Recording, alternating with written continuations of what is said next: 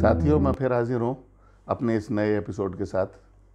आज के, आज हम चर्चा करेंगे दहेज हत्या के मामलों के बारे में। आपने देखा होगा कि आज रोज़ अखबार में पढ़ते हैं कि संदिग्ध अवस्था में स्त्री की मृत्यु, फांसी लगाने से मृत्यु, गला दबाने से मृत्यु, जहर खाने से मृत्यु, आग लगाने से मृत्यु। इस पर कानून क्या है? इस पर कानून है जिसमें इंडियन पेनल कोड की धारा 304 बी 304 बी को बनाया गया, जिसमें ये कहा गया कि अगर कोई स्त्री शादी के सात वर्ष के भीतर अपनी सामान्य मृत्यु ना होकर किसी असामान्य कारण से उसकी मृत्यु होती है और उसके मृत्यु से ठीक पहले उसको दहेज के लिए प्रताड़ित किया गया हो, ऐसी हत्या को, ऐसी मृत्यु को दहेज हत्या माना जाएगा। और उसमें कोर्ट एक धारा और बढ़ाई गई, भारतीय साक्ष्य अधिनियम में इंडियन एविडेंस एक्ट में दैट इज़ एक सौ तेरह बी जिसमें कोर्ट ये प्रिज्यूम करेगी कोर्ट ये मान के चलेगी कि अगर शादी के सात वर्ष के भीतर अननेचुरल डेथ हुई है और she was subjected to cruelty on for dowry की कोर्ट ये मान के चलेगी कि ऐसी हत्या, दहेज हत्या थी और उसमें सारा ओनस सारा बर्डन एक्यूज़ के ऊपर होगा ये साबित करने का कि उन्होंने ये हत्या नहीं की। इसीलिए ऐसे मामलों में बहुत ज़्यादा कठोर कानून बनाया गया दस साल तक की सज़ा और इस पे ऑप्शन में एक चार्ज लगाया जाता है तीन सौ दो का भी और जिसमें आजीवन कारावास और फांसी तक की सज़ा है। इन प्रावधानों के साथ हम चूँकि समाज में रहते हैं, हमें उन कारणों तक पहुँचना चाहिए जिसकी वजह से अपराध कारित होते हैं। इन वीडियो में बनाने में या इन चीज़ों को आप तक लाने का मेरा उद्देश्य ये नहीं है कि मैं आपको कानून की विस्तृत जानकारी दूँ।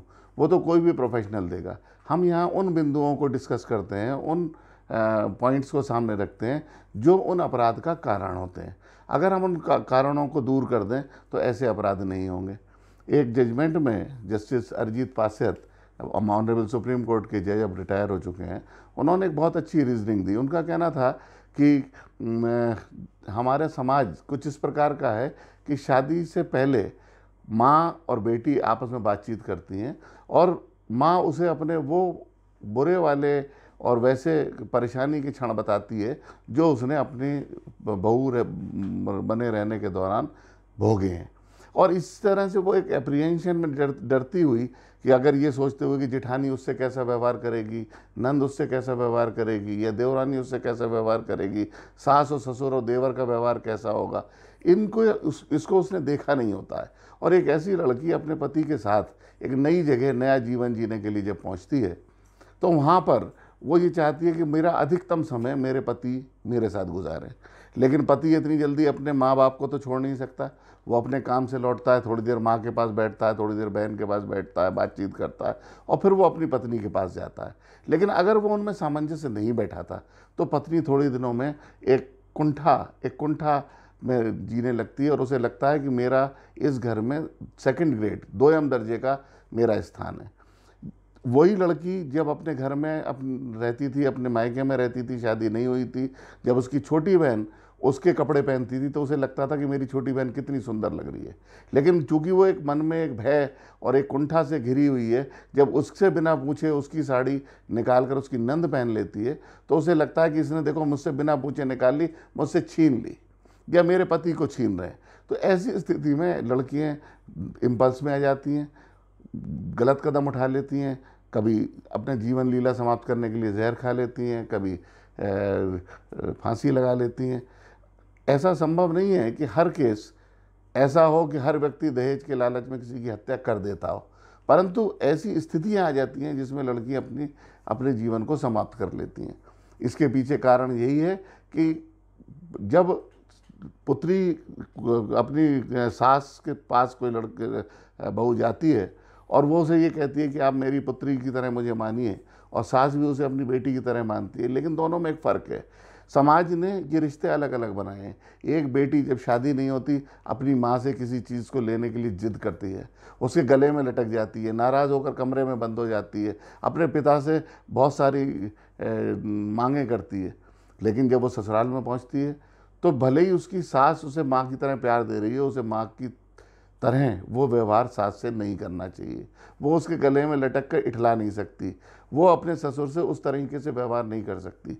इन सामाजिक जो दायरे बनाए गए हैं, इन दायरों की शिक्षा बहुत अच्छी तरह सबको दी जानी चाहिए। मुझे अभी भी याद है कि बॉम्बे के पुलिस कमिश्नर ने कहा था कि जब ये रेप के केस और इस तरह के केस बने उन्होंने कहा कि हमारे यहाँ पहले स्कूलों में एक सामाजिक शिक्षा का पीरियड हुआ करता था और उसमें सामाजिक शिक्षा दी जाती थी, जिसमें एक दूसरे के रिश्तों के भाई बहन के रिश्ते, भाइयों के रिश्ते सास ससुर के रिश्ते, इन सब इन सब के बारे में ज्ञान दिया जाता था। परंतु आज वो चीज़ समाप्त हो चुकी है। हर घर में दूसरे तीसरे घर में, चार सौ अट्ठानवे के मुकदमे, आपस में विरोधाभास तो सबसे इसके लिए ज़िम्मेदार कौन है? इसके लिए ज़िम्मेदार मेरी नज़र में वो माँ बाप हैं जो जल्दबाजी में ये सोचते हैं कि बिना देखे, बिना मानसिक समानता के, बिना ये देखे कि मेरे, मेरी लड़की का जिस लड़के से हम शादी करने जा रहे हैं, भले ही वो बहुत अच्छे पद पर हो, बहुत अच्छा कमाता हो, लेकिन उससे मानसिक सामंजस्य नहीं है। बिना ये देखे अपने पैसे के अपने स्टेटस के बल पर उसका विवाह कर देते हैं। और जिसकी परिणति ये होती है कि वहाँ जाने के बाद जब वो अपने एक नए समाज में पहुँचती है और उसे वो सब चीज़ें जो एक्सपेक्टेड होती हैं, जो उसने अपने मन में सोची होती है, नहीं मिलती है, तब वो अपनी ऐसा कदम उठाने को मजबूर हो जाती है जिसकी परिणति दहेज हत्या के रूप में होती है। दहेज हत्या के इस विकराल रूप को देखते हुए आजकल कोई भी पति जिसकी पत्नी की इस प्रकार मृत्यु हो गई हो, वो उसकी ज़मानत आमतौर पर उच्च न्यायालय से भी नहीं होती। इन मामलों में भी, बहुत से मामलों में नाबालिग बच्चियों का, नंदों का, देवरों का, जेठों का, के नाम लिखा दिए जाते हैं, जो वास्तव में निर्दोष हैं, जिन्होंने कभी ना तो मांगी हुई जो दहेज की मांग दिखाई जाती है, ना तो वो उसके बेनिफिशियरी हैं, ना उनको उससे कोई मतलब है। एक और रूटीन में एफ़ आई आर एक सी देखने को मिलती है, जिसका कोर्ट भी संज्ञान लेता है अक्सर, कि जिसे देखो कि वो कार मांग रहा है। इसके अलावा और कोई डिमांड सामने नहीं दिखाई देती, क्या कार किसी की जान से ज़्यादा बढ़कर है? लेकिन खैर, हम इन चर्चाओं में ये सामाजिक चर्चाएँ फिर किसी प्लेटफॉर्म पर करेंगे। लेकिन आज 304 बी के बारे में मैं बताऊँगा कि धारा 304 बी इतना कठोर कानून है कि जिस पर जो नामजद लोग हैं अगर उनके विरुद्ध सीधे सीधे एविडेंस मिलती है तो उनको कोर्ट भी ज़मानत देने में संकोच करता है। हालाँकि एक प्रैक्टिकल सी बात है कि जो सास ससुर हैं वो तो पचास साल से ऊपर के ही होंगे क्योंकि अगर उन्होंने पच्चीस तीस साल की उम्र में अपने लड़के की शादी की है तो डेफिनेटली वो सीनियर सिटीजन की श्रेणी में भी होंगे। लेकिन कहीं भी इसी तरह की जो तानाकशी घर में जो नंद और आ, सास के बीच की वार्तालाप होती है उस वार्तालाप को यदि लड़की के परिवार वाले बहुत ज़्यादा हवा न दें और पति अपने कर्तव्यों को निभाते हुए अपनी पत्नी को समझा बुझाकर और बाकी परिवारजनों के साथ सामंजस्य बिठा दे तो ये स्थिति कभी नहीं आएगी। दहेज के मुकदमों को कम करने के लिए डोमेस्टिक वायलेंस के मुकदमों को कम करने के लिए, ये छोटी सी बातें हैं छोटी सी सामाजिक बातें हैं, जिसके लिए हमें जगह जगह बैठकर चर्चा करनी चाहिए। विवाह में दहेज की कोई मांग न होते हुए भी आदर्श विवाह होने के बाद भी बहुत सी जगह ऐसा देखा गया कि लड़कियों ने आत्महत्या कर ली। वजह क्या थी? लड़का कम पढ़ा लिखा है, लड़की बहुत ज़्यादा पढ़ी लिखी है। उसकी एम्बिशंस थी, वो चाहती थी कि मैं पीसीएस का एग्ज़ाम दूँ, मैं प्रशासनिक अधिकारी बनूं। लेकिन पिताजी ने जल्दी से, अरे मेरी तो अभी दो बेटी हैं, और है, मैं तुझे और कहाँ पढ़ाऊँगा? उसका विवाह कर दिया। वो पढ़ना चाहती थी, लेकिन उसकी इच्छाओं का दमन कर दिया और वो ऐसे व्यक्ति के साथ उसका पल्ला बाँध दिया गया, जो दिन भर दुकान पर बैठता और इंटर पास है या इंटर फेल है। तो उन लोगों में आपस में ना तो मानसिक सामंजस्य बन पाता है, ना उनमें अंतरंगता आ पाती है और नतीजा ये होता है कि या तो मुकदमे चार क्रूरता के मुकदमे चार सौ अट्ठानवे एक है और अगर वो क्रूरता और अधिक बढ़ गई तो वो जाकर तीन सौ चार बी में परिणति होती है। इसलिए मुख्य तीन बिंदु हैं विवाह से पहले जो लड़की के पिता को सोचने चाहिए। एक तो पढ़ाई और ज्ञान और अपने बच्चों के कैलिबर और उसको देखकर उन पति और पत्नी, होने वाले पति, पत्नी, लड़का और लड़की के बीच में सामंजस्य बन सके।